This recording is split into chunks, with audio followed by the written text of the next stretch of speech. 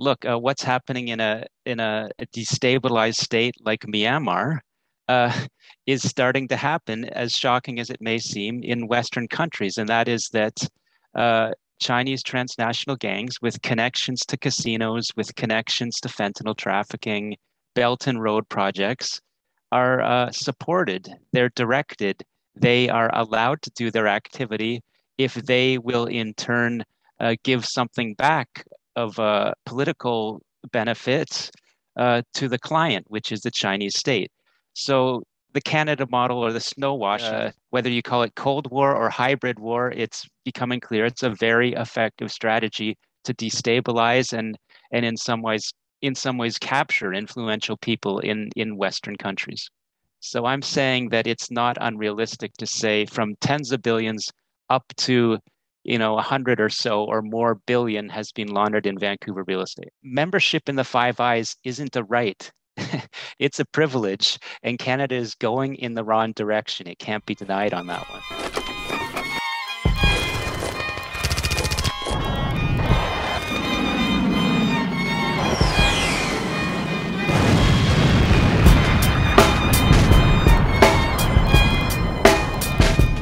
Uh, Mr. Cooper, really nice to speak with you. You're a longtime Canadian investigative journalist, uh, specifically focusing on uh, corruption, Chinese Communist Party involvement in Canada and overseas, uh, money laundering, et cetera. And we'll get into those topics. And uh, obviously, the recent successful author of Wilful Blindness. Congratulations on your book. Thanks for that, and thanks for having me. Could you just explain to those that, that may not know you your your brief background and, and how you got into one investigative journalism and how you ended up into your specialty and then obviously publication of, of your book and where you're at now.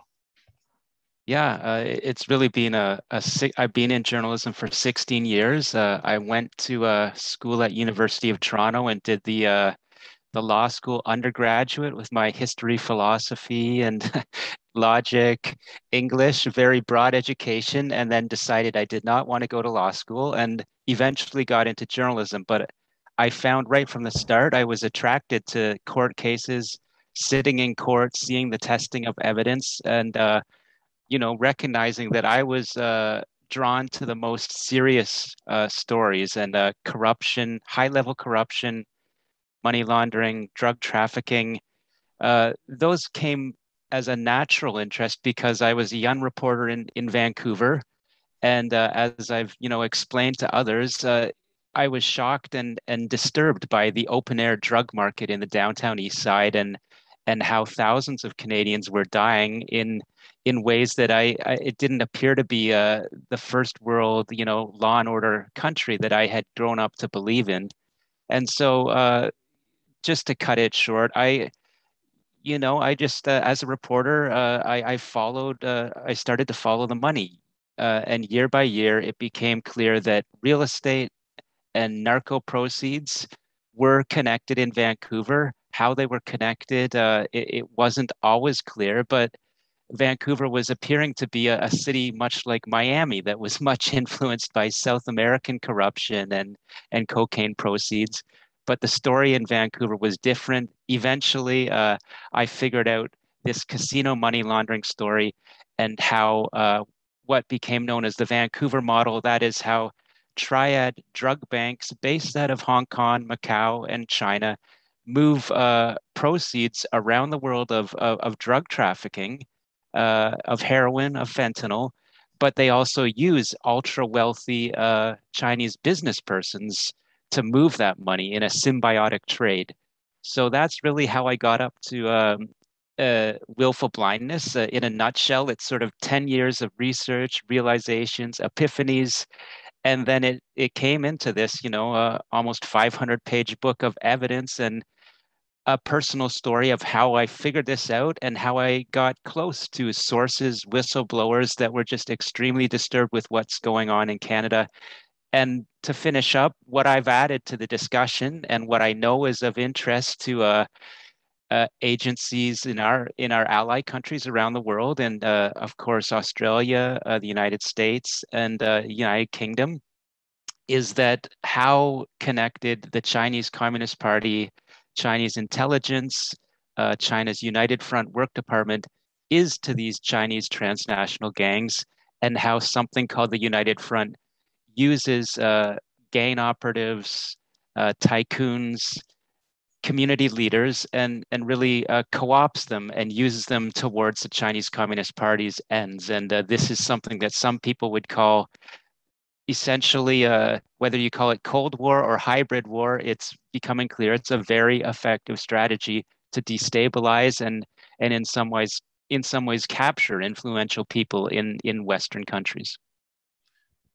And I've seen your descriptions elsewhere on on hybrid war, asymmetric war, uh, unconventional war, and how the, the, Chinese Communist Party puts this into effect um, abroad, but now most particularly in Canada. Can you describe what this Vancouver now what's becoming known as the, the Canada model of of the snow washing of of using Canada and uh, infiltrating our um, national infrastructure, for lack of a better term, both municipally, provincially, and federally, and and how does that play into uh, their strategy? Yeah, it's a complex strategy, and I like to say that I don't think that the people in Beijing always have the strategy completely figured out and the actors completely figured out. There are complex players that are playing all sides. Uh, self-interest, business interest, greed, and fear are all part of the mix.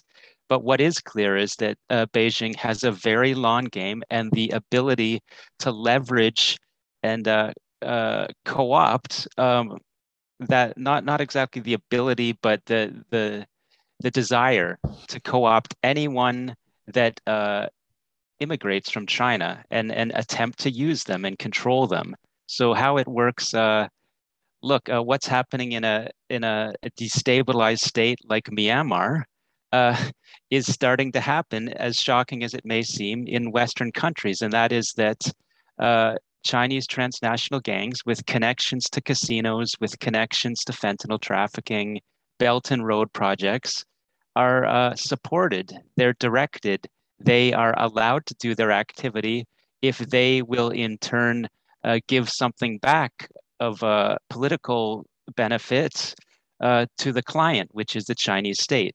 So the Canada model or the snow washing, just to focus in on the financial side, uh, it's it's best to just walk through a an easy transaction. Let's say uh, a wealthy uh, official with connections to the United Front in China, uh, you know, maybe uh, wants to, like many Chinese officials, invest abroad. They have a million dollars. They make a connection with uh, a loan shark sharking gang in Vancouver who has met them in a Macau casino. Of course, it's not legal to gamble in China, but it is in Macau. So the Chinese official is invited to uh, go to Vancouver. Uh, he is told once you land uh, in the Richmond airport, hit me up with a WeChat text, go to the casino. Most specifically, it was the River Rock Casino, where there was a scheme where these ultra wealthy high limit gamblers, almost uh, exclusively from the People's Republic of China, traveled to that casino. They texted the gangster. He met them in a parking lot, let's say a Costco very near the casino. He gets a million dollars in cash, $20 bills, sometimes hundreds, walks into the casino easily against all money laundering indicators and, uh, you know, really the law, gets chips, gambles, and uh, he uh, maybe gets lucky uh, that night or that week. He converts his million to 1.5 million, and and so of course he's got a down payment if he wants on a Vancouver property. Uh, but let's focus on what what is uh, accomplished by the loan shark is you've lent out that million in drug cash, and the gambler pays back in China with a bank deposit. So uh, you've also you're also getting some interest on that. So the the ultra the the wealthy official has gotten a million dollars out of China. The gangster has washed his Vancouver drug cash. He's got taken payment back in China. Of course, that will go into a from the drug trafficker's bank account to a factory in southern China to produce some more fentanyl precursors and send those precursors over to Vancouver to be pressed up in a lab, fentanyl produced, uh, the drug sold around the world, cash collected, and the process repeats. So that's the financial side.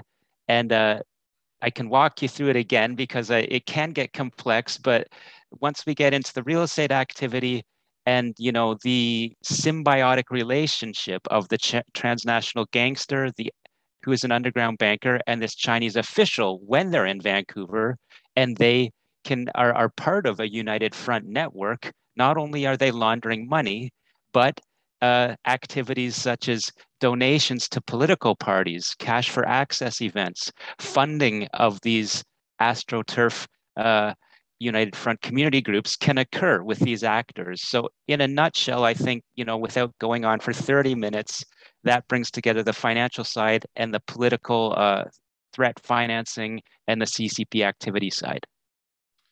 It's it's exceptionally complex and it's it's interesting. There's almost three dynamics here. There's there's one there's there's Chinese one that, that a lot of people want to offshore due to their own problems with the Chinese Communist Party. So, and that's a closed capital account. So to convert that, uh, those proceeds on that end, it's all done through intermediaries, as you describe, and then underground banking, which is simply massive.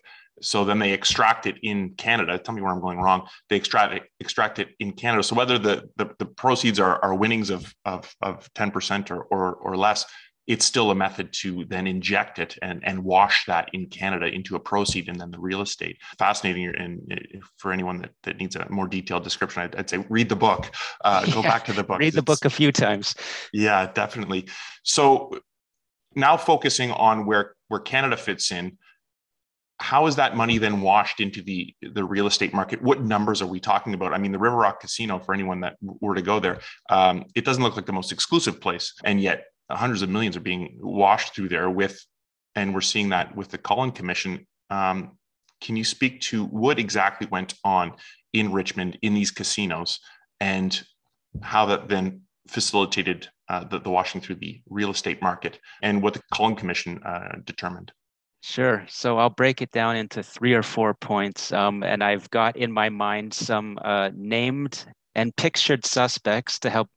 Uh, so Look, I estimated before the evidence uh, was absolutely clear, which it now is. Anyone can go into the Cullen Commission website and, and look in 70,000 pages of evidence. Uh, I estimated about 2 billion had been laundered through BC government casinos in this Vancouver model. And I learned that, you know, not only was I right on, uh, I was probably a little bit low in my estimate.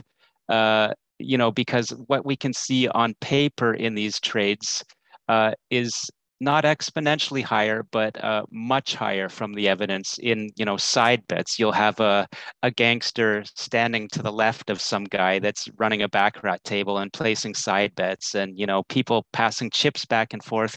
No one can keep track of how much money passed through those casinos.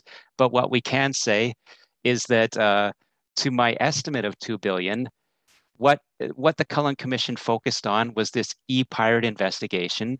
So, uh, 36 uh, PRC whale gamblers uh, were uh, quickly uh, identified when the government learned that the RCMP was targeting casinos and had discovered the core node of this Vancouver model.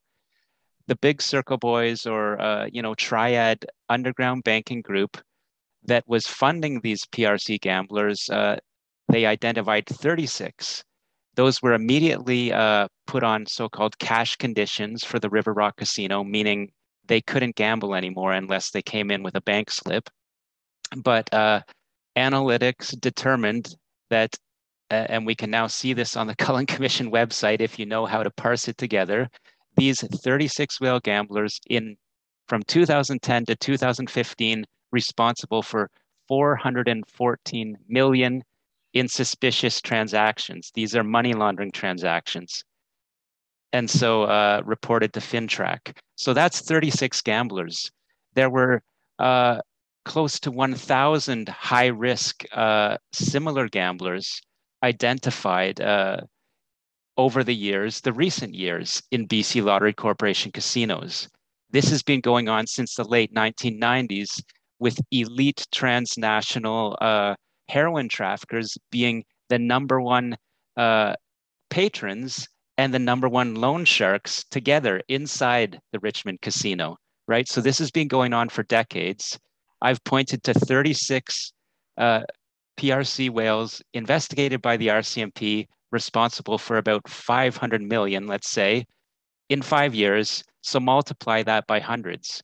That gives you an idea of the scale. But as people tell me, the, the as police sources tell me, the casino activity is the tip of the iceberg of the related real estate activity.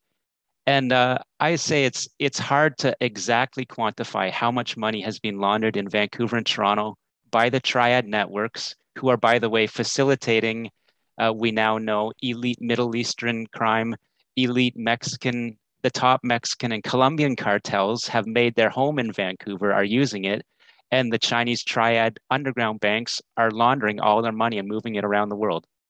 But to, to not get too complicated here, look, I estimate from tens of billions and above has been laundered in this Vancouver model in Vancouver real estate.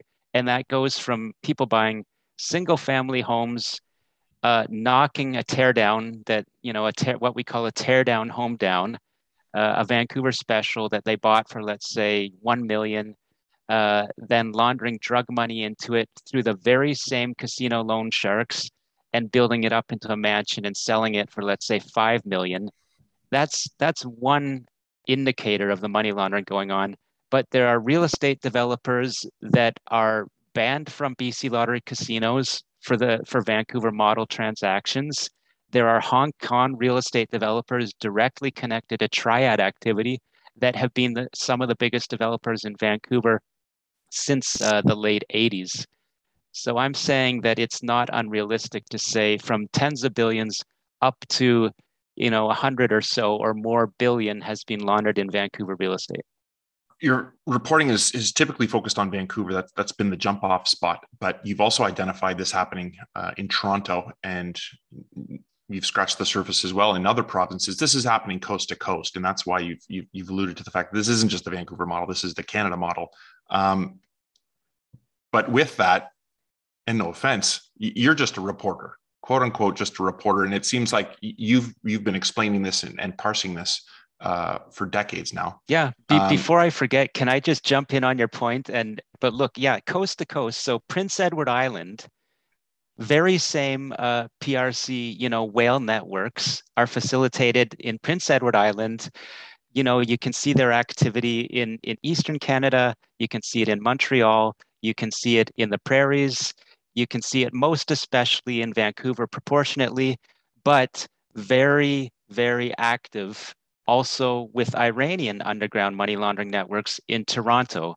And so again, I'll point uh, I'll point your viewers and listeners to the Cullen Commission records in closing arguments from the federal police point to uh, elite triad uh, international uh, professional money laundering service based in Ontario and Vancouver. So, of course, this accords perfectly and corroborates perfectly my reporting. And these networks are what's known as the company, the Big Circle Boys, 14K Triad.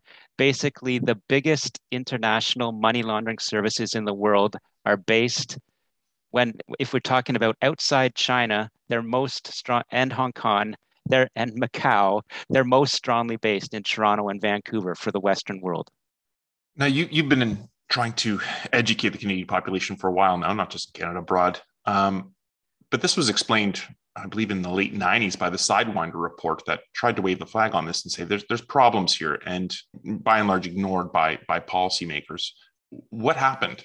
What, how has this gone so astray and and a blind eye or or willful blindness where is that coming from within the uh, both uh, institutionally whether it be CSIS, RCMP, municipal, um, CRA, and what about our politicians who should be pressing on this? We've got a, a housing crisis, and if looking at the deaths um, in Vancouver is any indication of the impact of fentanyl, uh, we've got a serious problem on our hands. Yeah, well, to start with Sidewinder, you know, I don't even think that the authors uh, or the people whose reporting it was based upon, who were whistleblowers in Hong Kong in the 1990s, on uh, how gangsters were infiltrating Canada's immigration uh, process in, in Hong Kong in the High Commission. No one would say it's a perfect report. It was much maligned and over maligned. And, you know, there may even been, you know, a few assertions that were uh, jumped on as overly broad or overly uh, aggressive. but this was a draft report, and I think the the the fullness of time and the fullness of reasonable examination reasonable people say this was a, a, report that got most of it right. And not only that, it was an innovative report in the world by Canadian intelligence and police that really got this model uh, that is uh, troubling the world right now correct. You know, back in the late 90s, why was it ignored? There's, uh, you know, there's theories, there's uh, suspects. I think suffice to say that elite capture uh, pressure back on Canadian intelligence findings was cert- bureaucratic, bureaucratic efforts to bury the report. Absolutely, it's un- undeniable that uh, that occurred. Um, you know why? Why can I say that? Look in the book, I go to David Mulroney, who's probably uh, a, well the former ambassador to China, who's one of the top truth speakers in the world right now because he's set free of government and he can, you know, while still respecting you know national secrets acts and things like that he can speak about how deeply corrupt china's leadership is and how they've captured elites in canada so just to give a da- data point i believe now the spread between um, canadian citizens view of how our country should engage china versus uh, the leadership especially with our current government 87% of Canadians are are indicating that uh, they have major concerns with our engagement with China and China's activity. And yet we have leaders, uh, including our current ambassador, who are saying China is still on the rise. Let's let's get in uh, while it you know let's get in on well well we can still get great deals and pushing pushing a narrative uh, of uh, disproven facts that have been out there with uh, you know a, a very powerful set in Ottawa, Montreal, Toronto mostly, with a great big node in uh, Vancouver of a business elite that is pushing further engagement and is uh, really suppressing the evidence of corruption. And uh, look, uh, without without naming names, uh, I can point to from extremely credible sources that have all their information as proven correct. There has been deep corruption of uh, powerful Canadian people all uh, across the country, but I'm going to point mostly to British Columbia, Ontario, and Quebec from both Chinese transnational crime networks and Chinese Communist Party networks. And that has to have some bearing on our just extremely what what looks like to to put it bluntly, Canada is going in the wrong direction compared to our allies, Australia, especially uh, United States and United Kingdom, who are now in an all-out, all-government competition with China, and uh, Canada and and probably New Zealand are are not on board to the same extent, maybe not at all, with that direction. And it presents, a, a, I believe, the great concern of our time. Probably, uh, you know, not to get outside of my frame here, but along with climate change, this is the problem our next generation is facing. Um, membership in the Five Eyes isn't a right. it's a privilege, and Canada is going in the wrong direction. It can't be denied on that one. Well, to point it in the other direction, maybe they have it right. Maybe this strategic ambiguity with with the U.S. faltering and and uh, you know perhaps the party in power right now and and uh, our dear leaders uh, Barton, McCallum, um, the Desmarais family, Falcon, um, and uh, most recently uh, Alan Zeman out of Quebec had an interesting article the other day. You know, how are how are they getting it wrong? What's what's so wrong with you know what's good for the goose is good for the gander? Um, Canadians are are you know house prices are at all time highs. Everyone's weathered the pandemic relatively well. You, you, know what is so wrong with with strategic ambiguity, engaging with the Chinese, and and maintaining the Canadian economy in these trying times? Well, the first is a an a, a slash economic moral argument, and the second is a straight moral argument. Um, there's the argument that China has actually uh, is not on the rise economically. They're at or near their apex and becoming more aggressive in the way that any trade that goes to China from the West, as we saw just the other day with a, a Boston Celtics player that spoke out against China, and very quickly the Boston Celtics were expunged from uh, uh, NBA coverage on on Chinese internet. You cannot do business in China uh, at any level without uh, your democracy, your business, uh, your society being leveraged towards uh, doing what China wants you to do, and that's becoming in, increasingly apparent. So, as a as a quick example, some of those very people that are now, as days after the Michaels were released, uh, in you know this just I won't say anything about the case. Everyone knows what happened. There are people saying, what lessons should Canada learn from this? As if what victim blaming at its worst. And let's now, now that now that this little problem has gone away, let's jump more deeply into trade and leverage up. Uh, those people are the same ones that are saying it's wrong of Canada to stand Canadian politicians to stand up and say there's a genocide or crimes against humanity going on in, in Xinjiang. So uh, we could go on with examples for days, uh, literally, but that's just a quick example of how if you want to do business with China, you have to toe their line. One more example, let's look at the CanSino vaccine situation. Uh, most people that are, are, are viewing this tape will know what happened, but Canada got into a deal with the People's Liberation Army linked company, a company that I've reported its executives were part of uh, the Thousand Talents program, which is a vector of Chinese espionage. And uh, Canada was going to develop a vaccine with the company, and lo and behold, you know, around the time there was a a rule of law uh, proceeding which didn't benefit Meng Wanzhou in Vancouver, uh, the the shipment of uh, you know materials that Canada contractually was supposed to have for this vaccine stopped in China. So again, hostage diplomacy style leverage. Lives are at stake. You do a deal with China, and uh, if something goes uh, wrong and they want you to just throw the rule of law aside, the deal is done, and you're left in the lurch. Not only that, your citizens counting on a life saving, potentially life saving vaccine are now not only at the front of the line, they're out of the line. So that's the moral economic argument. The moral argument is the who who how can you argue that you do business with a with with a country that is committing genocide against a minority population in its sort of expansive land hunger really is at the uh, and and and resource hunger is at the root of that situation. So I I think I could go on, but that's my answer. no, that's a, that's a fair answer. Um, you spoke to the privilege of Canada being part of Five Eyes. Interesting determinations likely to to come by the end of this month, if not next, with regards to Huawei.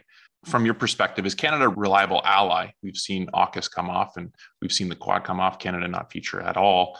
Uh, some uh, within the Laurentian uh, policy elite think that's that's not a big deal. Are our allies looking at us with winced eyes? I think so. Before, uh, you know, we were left out of that important new um, Indo-Pacific deal, which, by the way, is not just about submarines. It's about sharing of the highest level intelligence on, you know, AI and cyber everything that is essential to this great power, you know, all of government competition with China that that is on now and has been for a while. Canada is left out of that. So for the people trying to sugarcoat that, uh, well, Canada was never going to be on that, you know, anyway, or it's not an indicator that we're, uh, you know, starting to lose our our presence with the Five Eyes. I guess you know I'm a little bit new to Ottawa, and probably a bit of an outsider, but from my an- analysis, it just I don't buy that argument at all. It's going in the wrong direction, and it's an extremely bad indicator.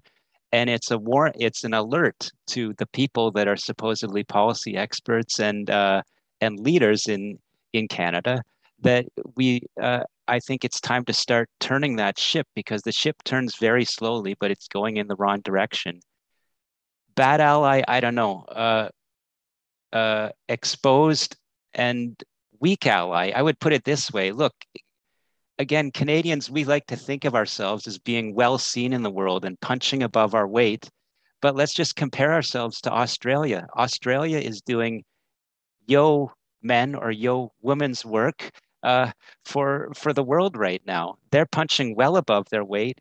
They're getting closer to the uh, the powers that support democracy and human rights and uh, Canada is is just compared to Australia, we we're looking like um, an afterthought, uh, a weak country, and I don't think that's the way Canadians uh, want to view themselves. But it, it, it's time for a bit of a wake up call on that one. With all of the issues you, you point to, I'm wondering what's the you know what are, what are the top policy recommendations you see obviously defense and security is one but there's also homeland resilience what have the australians done to to protect their democracy to protect their economy and, and their their resilience well the big one is uh, you know people knowledgeable people in washington uh, tell me that australia is 10 years ahead of its allies in uh, recognizing the ccp threat uh, the hybrid threat the economic threat and taking steady, hard decisions to counter that. And so the big one is, you know, uh, foreign interference laws with teeth that would, uh, you know, force people, uh, business elites, legal elites, political elites, to disclose any hidden interests that that they are doing business or doing the bidding of uh, of Beijing for for various reasons. And so that came in about two or three years ago in Australia. And as people like Charles Burton will will explain again and again, very quickly, some people that were making a lot of money, some former government figures, had to very quickly uh, disclose their interests and cut those deals.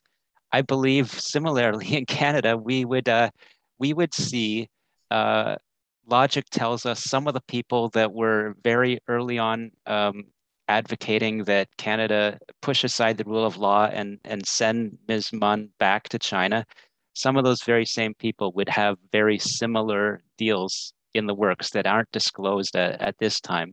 So that that's a big one. And I like to color it with an example. Look, we know, as I've said, uh, elite Canadian politicians have been uh, in the bag, have been corrupted. Look what happened with the case of, I'll just uh, uh, bring it back to casinos. We recently heard about the $800 million Australian casino whale, Huang Xiangmo. Uh, he's been the subject of amazing reporting in Australia, part of uh, these uh, organized crime junket casino networks that brought in uh, people believed by Austrian, Australian intelligence to be foreign agents. Uh, none other than Xi Jinping's cousin was one of those people flagged. And just to focus on Mr. Huang, an elite United Front work department figure, I can draw connections to lead, similar leaders in Vancouver. And the person that uh, allegedly corrupted an Australian senator, you know, through sort of donation activity, this senator started advocating for China's position uh, in the South China Sea. So, a very big geopolitical military change of position that would impact the nation and it's tied to donations from a casino whale with connections to uh, China's foreign espionage. And of course, Mr. Huang lost his Australian citizenship. He's over in Hong Kong now, uh, you know, directly connected to Chinese uh, Communist Party sort of political activity there. And all of these activities of exposures happened after Australia started to take a hard line saying, we have clear visibility on these infiltration methods. We are going to institute laws against them. And in fact, you know, the security and the the the demo, you know, people that support democracy won the argument against Australia's political, sorry, business elite, which was just similar to Canada, pushing further and further trade and engagement at the expense of these Chinese espionage activities. Now, how how do you root this out? How how does this get rooted out in Canada? It gets rooted out by some people going to jail, some people being forced to disclose uh, these hidden interests with foreign governments. So it starts with legal change. Uh, I've I've uh, talked at length that our parliamentary uh, security and intelligence committee you know, a high level group of uh, parliamentarians has pointed to Australia as an exemplar who has already instituted these foreign interference laws. And so this is in front of the Prime Minister's office, these reports, a blueprint of the actions Canada needs to take. Again, Australia and Canada, very similar in constitution and in society, it's not a hard one to uh, to be very at the top of Canada's legislative priorities right now to follow Australia's lead. So I could talk on and on at length, but there's your simple answer. The the the laws are there. Tweak them a little bit uh, if you need to. Have a few, you know, bring this to the. Let's restart the Canada-China Relations Committee as it relates to, uh, you know, Canada's position in the Five Eyes and what needs to happen, and get those laws in effect. I did see some of your reporting with regards to uh, Ortis. I'm wondering if you can uh, speak about that. It, it seems to come full circle. Right. So um, in the book, I, I, was able to unpack at length what I learned uh, about Mr. Ortis. And let's just say right off the bat, this case is, uh, I believe, finally scheduled to come to trial uh, early next year. Uh, we don't know if Mr. Ortis denies any of the allegations against him, but I, I have certainly tried to reach out to him and his lawyer multiple times and never heard back. The allegations are uh, extremely serious. A lot of the information is covered by court publication bans. But what I learned, you know, from from sources that I could report in my book, is that uh, it was believed that not it was believed, it was in indictments that Mr. Ortis was selling Canada's uh, operational plans that targeted suspected Hezbollah operatives involved in underground banking in Toronto. Uh, it was, uh, you know, it, it, it, it's, it, he was involved in selling secrets.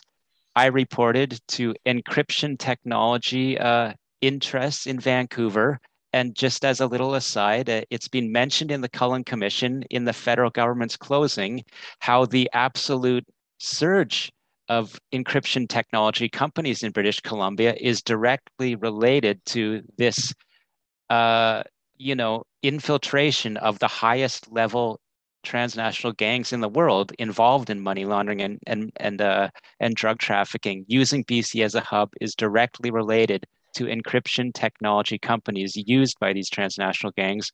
So, in several cases, it's alleged that Mr. Ortis was selling, that is, offering protection, offering secrets to the people that were targeted by the RCMP and the Five Eyes law enforcement group. So, in a nutshell, um, at a simple level, the allegations are he sold information to some of the worst criminal interests and uh, money launderers in the world for self benefit.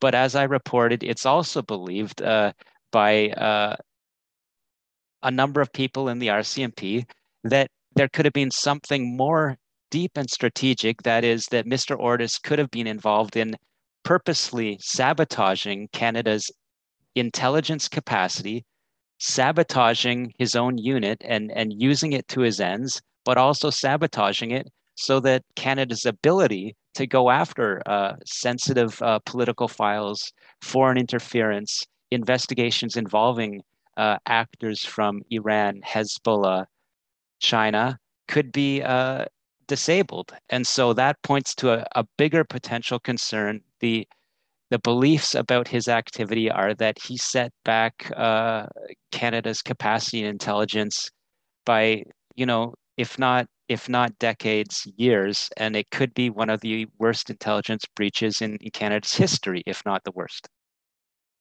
And, and to be clear, Ortis was one of the top intelligence officers in Canada. He was the top RCMP intelligence officer.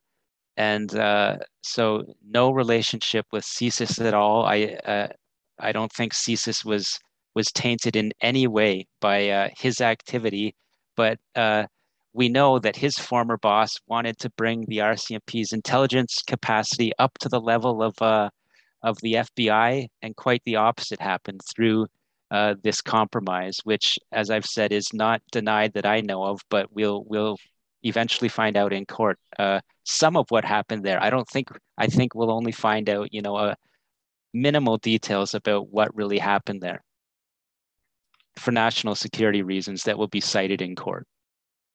Now, it's been a few months since you uh, published Wilful Blindness, um, and you've been reporting you're, you're one of the top investigative journalists in Canada, if not North America, on the Chinese Communist Party. How has your reporting and uh, Wilful Blindness been received uh, in Canada, um, in, in, in China, and uh, also in the, in the US?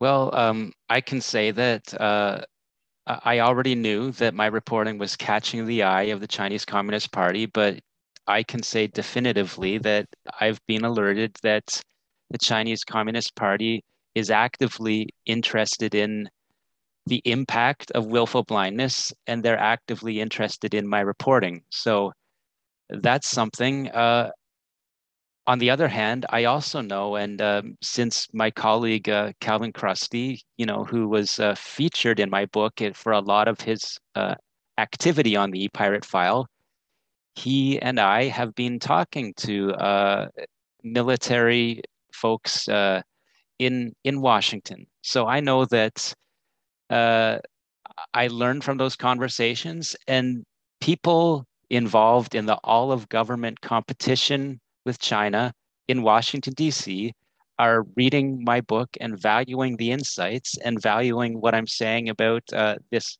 worldwide situation with China and how Canada fits into it.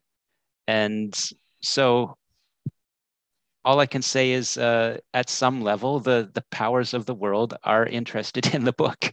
And uh, I guess, you know, uh, I'm that's that's rewarding to me. It also is a somewhat, of course, scary that China's interest is increasing, but uh, the reporting has to continue.